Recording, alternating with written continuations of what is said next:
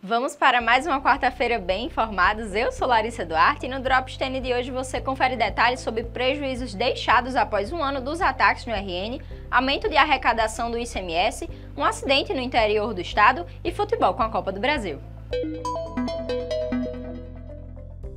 Após um ano dos ataques no Rio Grande do Norte, muitos potiguares ainda se recuperam dos prejuízos sem apoio da esfera pública. A Tribuna do Norte preparou uma reportagem especial com o um relato de pessoas que tiveram os bens perdidos com as depredações criminosas que aconteceram no estado.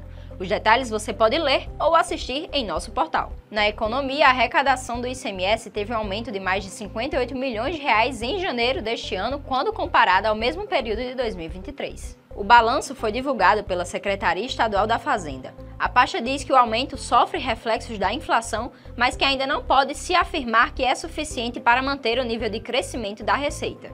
Nas estradas, um homem morreu após atropelar um animal na BR-406 nas proximidades do município de Jandaíra.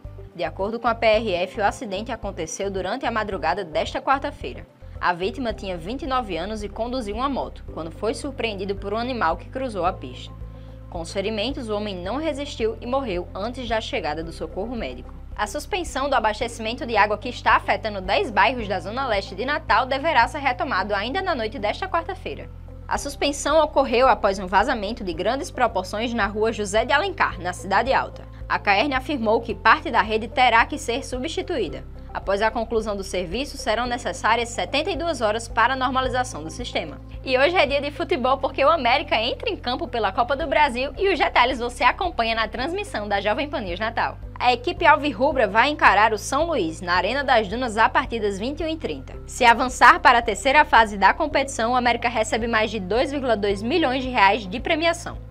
Mais detalhes de cada uma dessas informações você confere no portal Tribuna do Norte. Eu vou ficando por aqui e até a próxima.